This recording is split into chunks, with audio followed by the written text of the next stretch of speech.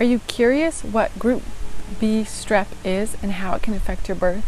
In this video, I'm going to talk about exactly what group B strep or GBS is and what you should do about it. Most women know nothing about GBS and are told by their provider that it could be fatal for their baby. So understandably, they get tested for it and they receive antibiotics in labor if they're positive. But that may not be the best course of action for everyone. Yes, GBS is a serious thing, especially for a newborn. But antibiotics are also serious and carry their own weight of risk. Stick around as I present some important information that every pregnant woman needs to know. I'm Lindsay and I've had three kids. All three were thankfully um, GBS negative. However, if I had tested positive, I would have taken it seriously. So let me break through kind of the different approaches that I would have personally taken had I gotten a positive GBS test. But before I jump into that, let's talk about what GBS actually is. So, group B strep is a bacteria that lives in about 25% of healthy women and it can reside in the vagina or the rectum. It's generally harmless for adults, but it can be pretty serious for newborns and it can come and go. So if you test positive at 35 weeks, you could be negative by the time you're in labor. If you test negative at 35 weeks, you could be positive in labor. There's about a 25% chance that you could switch from being positive to negative between being tested and being in labor. Most providers test with a swab of your vagina and your rectum around 35 to 37 weeks. My midwives let me do it myself, which was awesome, but OBs will probably just do it for you.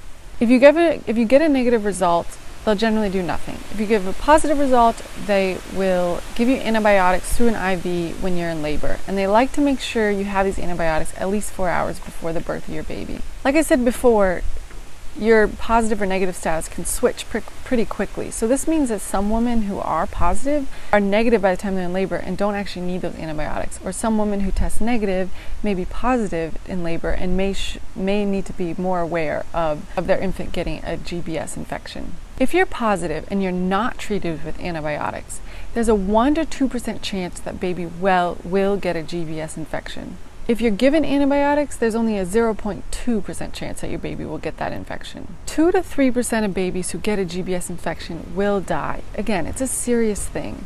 It can cause fever, sepsis, or meningitis. But if you take those 2% of babies who are born to GBS positive moms who may get an infection, and then 2% of those babies could die, that's only 0.04% of babies born to GBS positive moms who could die if the mom does not re- receive antibiotics. So if you're GBS positive, that's a 1 in 10,000 chance that your baby could die from GBS.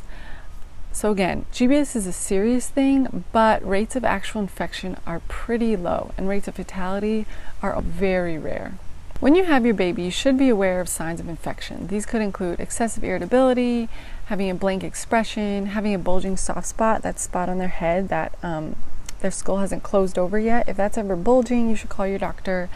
Um, if there's if your baby's sensitive to bright light or having jerky movements or blotchy skin, those are all signs of a serious infection. So definitely call your doctor right away, whether or not you got antibiotics in labor. Okay, so we talked about the risk of your baby getting a GBS infection.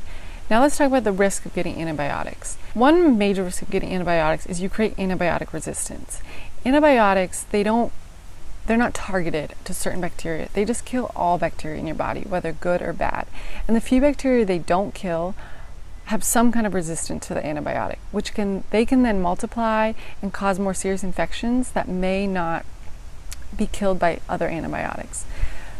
Thousands of people in the US die every year due to antibiotic resistance. Basically, people are getting infections that we have no current antibiotics that work against these infections and eventually cause death. So, this is something you don't want to contribute to. Antibiotics also wreak havoc on moms and babies' gut health. Again, they kill all the good and the bad bacteria. This can lead to more sicknesses like ear infections, thrush, and the need for more antibiotics. Once you kill off all that good bacteria in your body, the bad bacteria is going to fight back and cause infections, and then you're going to need more antibiotics. Babies who receive antibiotics in labor are far more likely to have things like recurring ear infections, thrush, which is a yeast infection in their mouth or diaper area, and to need more and more rounds of antibiotics. When eventually, I know some babies who by the time they're five have gotten 50 rounds of antibiotics. That is not normal and not healthy. Thankfully, none of my kids have ever needed antibiotics. Now, if you think about the numbers, about 1 in 10,000 babies born to GBS positive moms could die from GBS. But 100% of babies, of all those babies born to GBS moms who receive antibiotics, are going to have negative outcomes due to those antibiotics. So the risks for babies who receive antibiotics are often much higher than the risk of getting a GBS infection. There are alternatives if you'd like to avoid the antibiotic route. For instance, in most of Europe and other countries, they take a risk based approach. This just means that a mom is only given antibiotics in labor if they have high risk factors. These include things like a fever, if they have preterm labor, so babies born before 37 weeks, if their water breaks um, 18 or more hours before delivery, because this just means that um, the water, the amniotic sac has been open for a long time, so bacteria can get up into the vagina and into the baby um, easily without that water water sac protecting the baby. Um, if a woman's also had a previous baby with a GBS infection, you probably want to get antibiotics. So again, in Europe and many other countries, thousands of women who test positive for GBS are not given antibiotics unless they have any of these high risk factors. And then they their babies are monitored very closely for the first 12 hours after birth to make sure they're not showing any signs of a GBS infection. Other things you can do in addition to the risk-based approach um, you can delay your baby's bath. So when a baby's bathed, all that good bacteria they've gotten in the vagina is washed away. And often the vernix, which is that kind of creamy cottage cheese coating that babies are born with, is just again washed away. It's much better to delay the bath and to rub that vernix in. That vernix has antibacterial properties that could help fight off things like a GBS infection.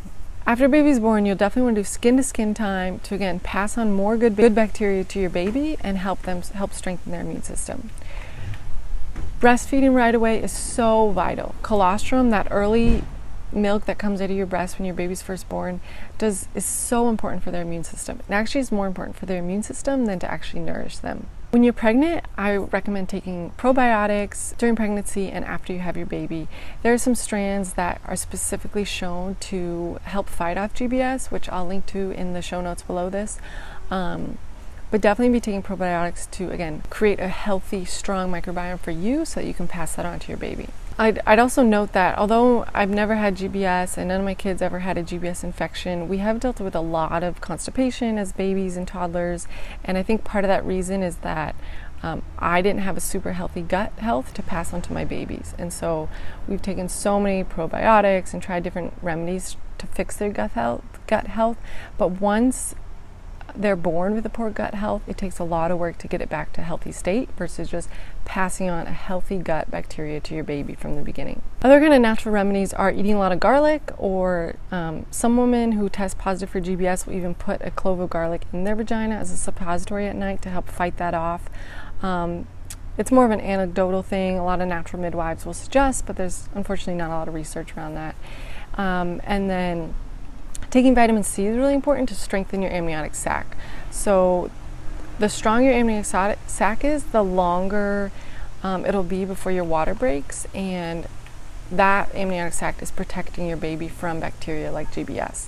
Um, with my first, my water broke, and baby wasn't born until almost 20 hours after, so I was more at risk for getting, for baby or me, getting an infection since that water, um, that amniotic sac had been open for so long. Um, with my second and third, the my bag of waters didn't break until they were coming out of me, and so there was such a little risk of infection because they were protected in their own little sac until they were basically out of me. Um, and then other things, just eating less sugar. Sugar feeds bacteria. Eating healthy foods, having a strong immune system, drinking a lot of water in your pregnancies. Those are all really important for your health as a mom and to pass on for your baby and your baby's health. That's all I have for you ultimately choosing whether or not to get antibiotics or even choosing to get tested for GBS is your decision. It is a serious infection, but antibiotics have serious effects. So I hope this information will help you make an informed decision that you can feel good about. If you've enjoyed this video, I would love it if you could hit subscribe. It just takes a second right below the video.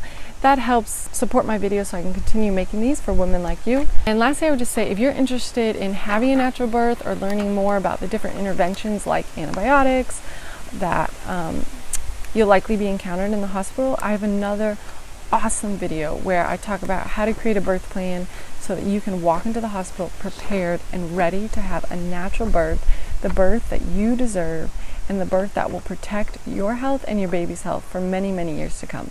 Go check that out now. Thanks.